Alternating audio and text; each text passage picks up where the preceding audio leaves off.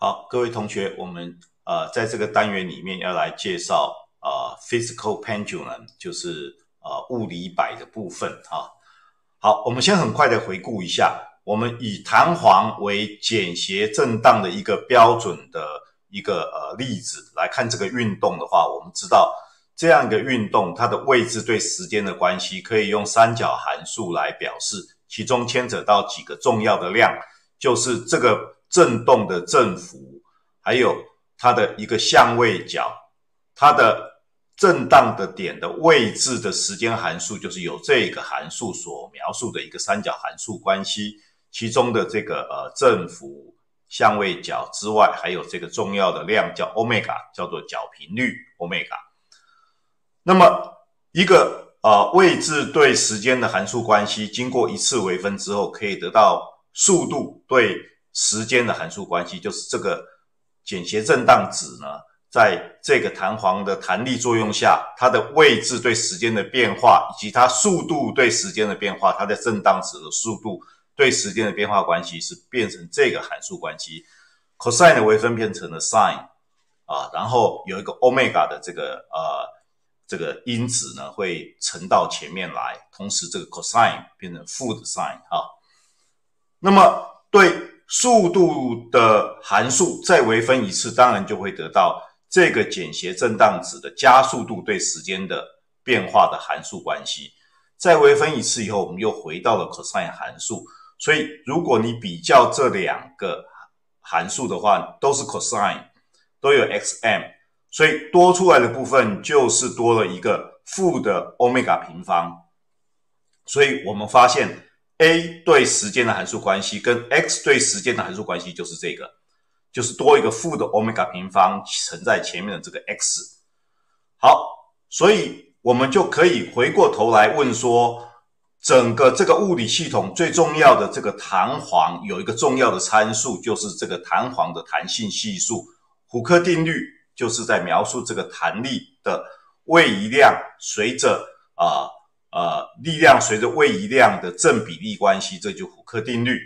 有一个比例常数 k，我们称为弹性系数。这个负号代表了啊，这是一个恢复力啊。这个力量总是想要把物体往平衡点的方向拉，在右边力量就往左边，在左边力量就往右边啊。所以，我们知道这个力量是扮演了一个最重要的角色，才会造成这个物体质量为 m 的这个物体产生这样的一个简谐运动。所以，整个物理系统有两个重要的参数，一个就是弹簧的弹性系数，另外一个就是这个正当物体的质量。所以，如果我们把 F 等于负 kx 这个式子啊，跟这个加速度 F 等于 ma 牛顿第二运动定律一起做比较，我们发现啊，这个 ma 如果把刚刚的 a 里面乘上 m 的话啊，我们就得到负的 m omega 平方这边乘上 m，所以我们知道简谐振荡的物体的 ma 跟它的 x 之间的比例关系就是一个负的 m omega 平方。那这个力量当然是来自于胡克定律的这个力量，所以把这个跟这个做比较，F 等于 ma，右边的这一项就应该是这一项都有 x，所以 k 就是 m 欧米伽平方。换句话说，在这个函数里面的这个欧米伽呢，可以看得出来啊，m 欧米伽平方等于 k。换句话说，把 m 除过去就是 k 除以 m，再开根号就是我们的欧米伽。所以在这一边有个重要的一个参数，omega 呢，其实就是由弹簧的弹性系数跟物体的质量共同决定的一个震荡的啊角频率啊，omega。那么啊，这个角频率如果啊，我们再把它换，再把它啊，因为啊 t 可以写成二派除以 omega，所以 t 可以写成二派乘以啊。除以 omega 就变成这个导数，变成 m 除以 k 开根号，所以我们就了解到一个物体在做简谐震荡时的这个周期呢，是跟它的本身的质量还有这个弹性系数有关的。所以这个简谐震荡的周期是一个重要的一个指标，这个指标是来自于简谐震荡的两个重要参数 m 跟 k。好，这是我们在啊弹簧的问题里面所学到的，我们做了一个很快的总结。现在我们将要以这个为一个啊模模型，一个基本的范例，来看看所有其他的运动，只要跟这个类似的，应该都会有类似的现象发生。一个最啊常见的一个例子呢，就是我们现在所讲的这个 torsion pendulum，就是啊这个扭摆。扭摆 torsion 是扭动的意思，扭摆 pendulum 是单摆的意思。torsion pendulum 就是像这样一个物体，如果像一个圆盘，这个圆盘被一个啊有弹性的一个支支轴把它啊悬挂着，那么这个支轴本身呢，如果发生扭动的时候，它会有一个旋转回来，想要恢复成原来角度的一个力。力矩存在啊，这个时候当然不是不是呃力，而是一个力矩，因为是一个转动运动问题。所以在这个运动问题里面的重要的物理量啊，跟这边对应的就是 x 这个参数，这边是 x，这边是角度西塔。我们发现西塔跟 tau 啊跟力矩之间是正比关系，扭转开来的角度越大，扭动的力矩就会越大。啊，并且有一个负号表示是恢复恢复的一个啊力矩。好，同样的这个卡把呢，就跟这个 K 对应啊，跟这个虎克定律的弹性系数对应啊，我们叫 torsion constant 啊，就是啊啊扭摆扭动的这个常数啊，扭矩的常数啊。好，那么如果把这个系统跟这个系统互相呼应的话，你算都不用算就知道。最后会算出一个周期出来，这个扭动，这个啊盘子在这边扭动，来回扭动的这个运动，也是一个简谐震荡、简谐运动。这个简谐运动的周期一定是跟这边有类比关系。那我们一这个类比一下就可以看得出来，在这边有个 K 啊，就跟这边的这边的 K 跟这边的卡巴是对应的，因为这个式子跟这个式子对应。然后呢？我们 F 等于 ma，那我们在转动问题里面已经知道，我们有个基本关系，就是套啊力矩等于 I 阿尔法，就像 F 等于 ma 的对应关系一样，力矩跟力对应，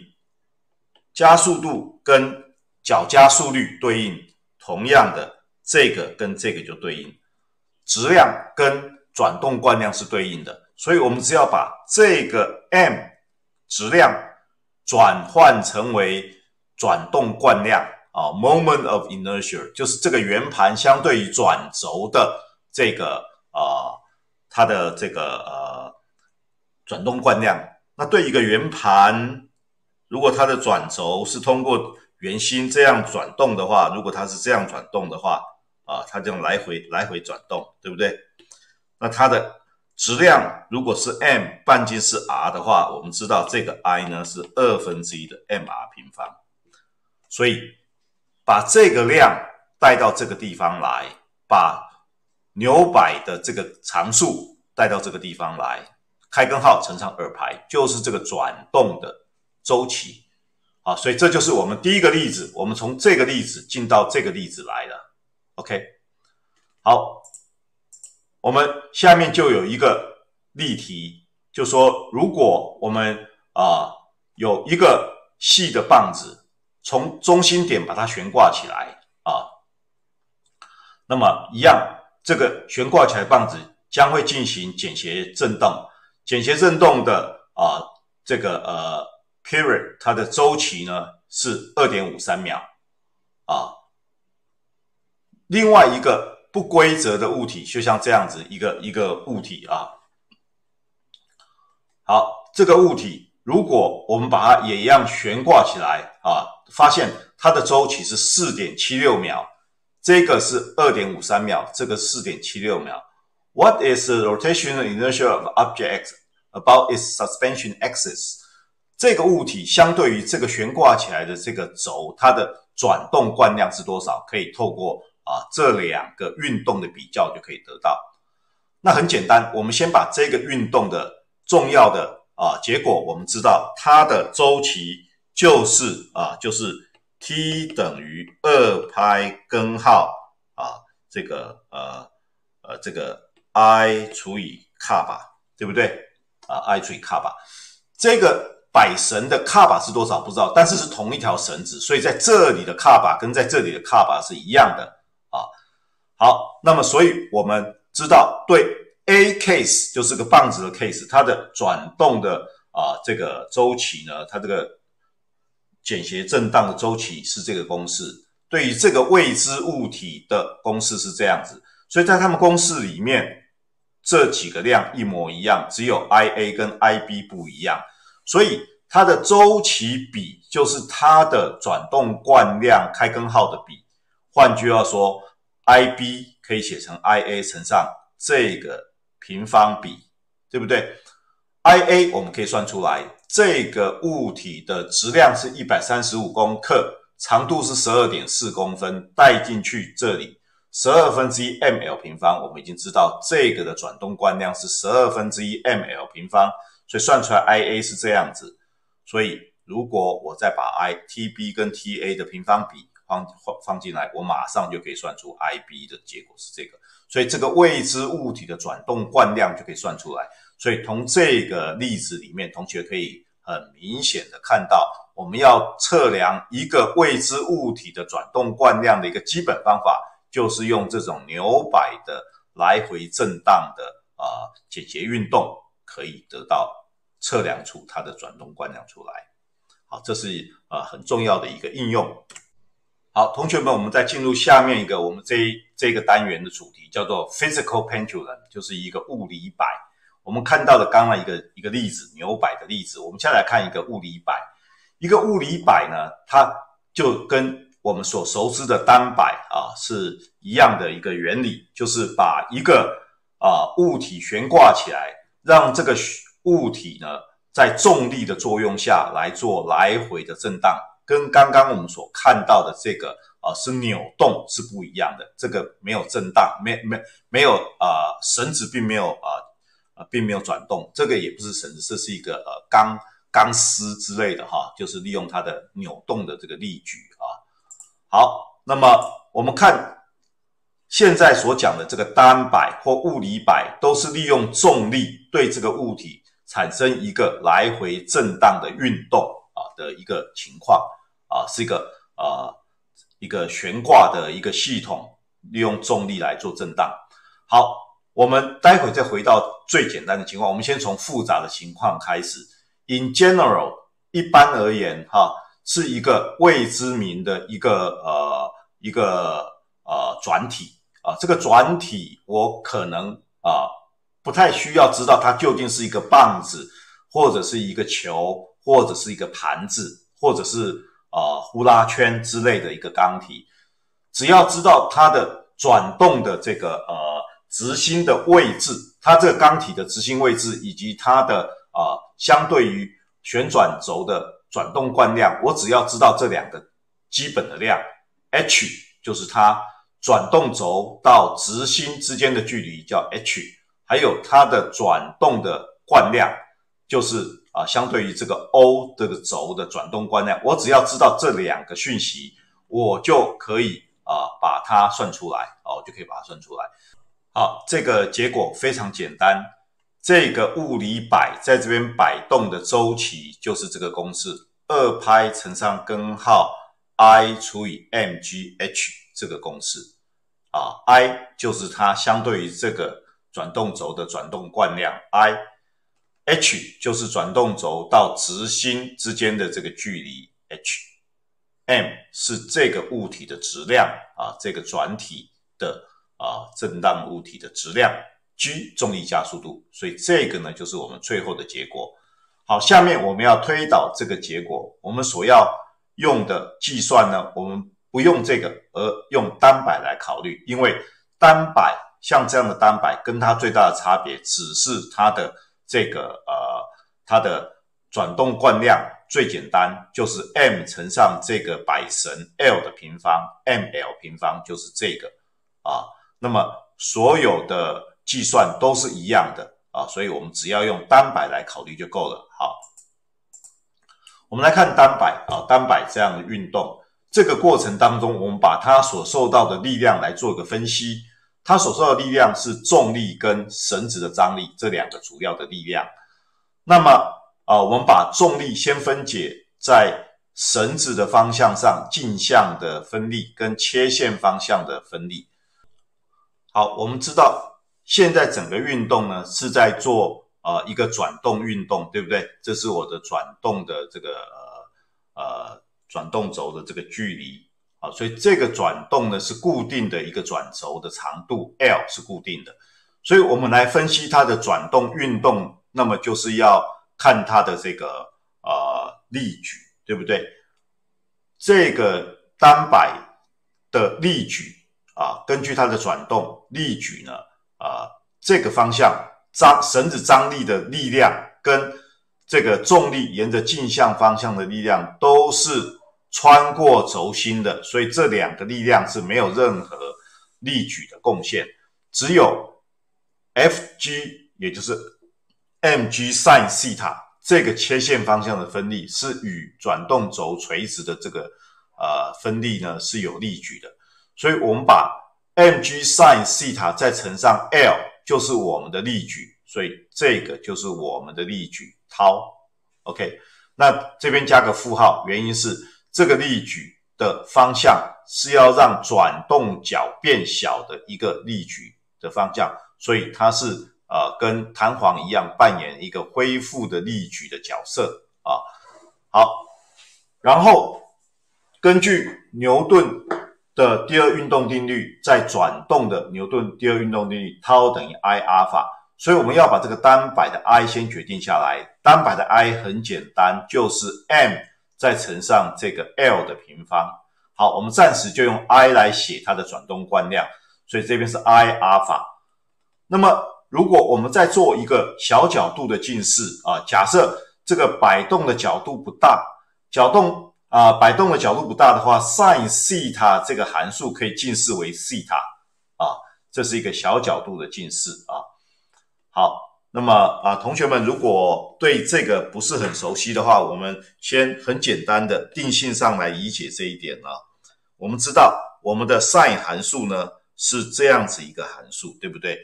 当角度，我们知道这个是角度西塔，这是 sin 西塔啊。sin 零是零，sin 派是零，sin 二派是零，sin 二分之派的时候达到一，对不对？那所谓的小角度近视呢，就是指的在角度很小的地方，比如说在这个地方，我们可以看到这个地方几乎是线性的，所以在这个地方的行为 sin 西塔啊，几乎就是西塔啊，所以啊，希望同学对这个东西能够有所了解啊。好。所以我们就啊用小角度近视的话，我们就知道阿尔法可以写成这个形式，对不对？因为把这个呃 sin 西塔写成了西塔，又把 i 除过来就是这个。那这个式子你来跟啊跟这个呃弹性力，弹性力呢是 F 等于负的 kx。现在我们是啊是这个呃 τ 等于负的啊 i 阿尔法。所以这个就告诉我们，我们这个单摆的转动运动呢，也是一个简谐运动。所以 k 跟呃这个呃，好抱歉啊，我们我们的现在是呃呃好，所以如果我用小角度近视带到这个式子里。面去的话，sin 西塔就变成了西塔，所以负 L 乘以 Fg 啊，再乘以西塔。那我们刚刚已经讲了，重力就是 mg，所以整个式子可以写成 τ 等于负的 mgL 西塔。这个式子跟弹簧的力量是同样的性质，负 kx。所以我们知道这边的 k 就由这边的 mgL 来扮演一个角色，对不对？所以我们这边的。啊，简谐震荡的 k 除以 m 就是这边要写成 mgL，对不对？然后这边的 m 呢，就是这边的 i，OK？所以把 i 再取代这个地方，我们就会得到呃最后的结果，阿尔法可以写成这样子啊，你跟这个对应的话，你就得到二拍根号。M 就是这个 i，k 是 mgl，我们刚刚已经讲了啊，把这个 k 跟这边的 mgl 做对应的话，你就得到 mgl 分之 i 啊，就是我们的这个周期的公式就出来了。那这个公式呢，跟刚刚我们所写的是一模一样的，对不对？我们刚刚只不过这边的 L 呢，在刚刚那个图形里面呢是 H 啊，因为我们在这个里面叫做 H。这边用 H 的原因很简单，就是因为我们在转动运动里面，如果转动轴通过这里，我们叫 ICOM，对不对？ICOM，我们在转动运动里面有一个 ICOM，同学如果记得的话，我们有个 ICOM。直心转动惯量，把直心转动惯量加上沿着这个轴来做 h 的平移的话，这会等于新的一个啊这个转动惯量。所以这边的转动惯量是通过直心的转动惯量再加上 mh 平方。那时候我们用 h 这个变数啊，所以我们这边沿用了这个 h 这个符号。但是对于现在我们这个呃单摆问题，我们用 l，所以我们这边的公式就变成 mgl 分之 i。那道理是一样的，只不过这里的 i 呢，对单摆很简单，就是啊，就是 ml 平方。那么如果今天我们不是一个单摆，比如说我们现在在摆动的物体啊，比如说一个钉子钉着，我现在是一个棒子在这里，这个棒子在这边做转来回的这个摆动。如果这个棒子的长度是 l，它的质量是 m 的话。那么我们这个问题的 i 就会是等于三分之一的 ml 平方，对不对？如果今天我们是一个圆盘啊，我们把这边啊是我们的转转轴点的话，我们 i 是多少呢？i 就是从这里为转动轴，也就是二分之一 mr 平方，假如质量是 m，半径是 r 的话，是 m 二分之 mr 平方，再加上。平行移动的距离 h 等于 r，所以再加上 mr 平方，也就是二分之三 mr 平方，就是我们这个盘子在这边做转动运动，它在这样来回转动的时候，通过这个点悬挂在这个点上转动的 i 是这个，要把它带到这个地方来啊，才会是那同样的，在这个情况下 l 就变成了 r，对不对啊？直。直心到转轴之间的距离就是这个 L 的意思啊。好，这个呢，我们会在下面的例子中来再来看到。所以，对一个物理摆而言的话，我们的周期就是这个公式，对应的角频率就是这个公式啊。希望同学们了解这些计算的缘由，就是啊，做啊简谐运动的类比就可以算出来。好，我们总结一下用单摆做这个计算的结果。啊，最后我们得到了这个啊周期的公式，对不对？周期的公式是二拍根号转动惯量除以 mgl。转动惯量对于单摆而言就是 m 乘上 l 摆长的平方，所以把 ml 平方放在这里的话，我们就很快可以得到 T 等于二拍根号 l 除以 g。我们跟啊，简谐震荡弹簧的例子比一下，这两个式子，这边有 m，这边是 l，这边是 k，这边是 g。好，这个结果很很基本，只要我们在地球上，g 就是九点八，l 就是一个单摆的长度，所以由这个摆长的长度跟重力加速度决定了在呃一个地表面上的一个这个周期的大小，就是由这个公式来决定。好，那么回到我们的物理摆，一对一般的一个呃转动的钢体而言，哈，从它的旋转轴到直心之间的这个距离呢，通常我们会用 h 这个参数来表示，这个是从平行轴定理来的。好，这个 h 就等同于在我们这个问题里面的 l，所以把这个 l 换成 h。啊，所以啊，其他的都没有改变，所以这就是一个物理摆它的摆动的周期。哈，好，我们下面来看几个例子。在这个例子里面，我们看到有一根长的棒子啊，它的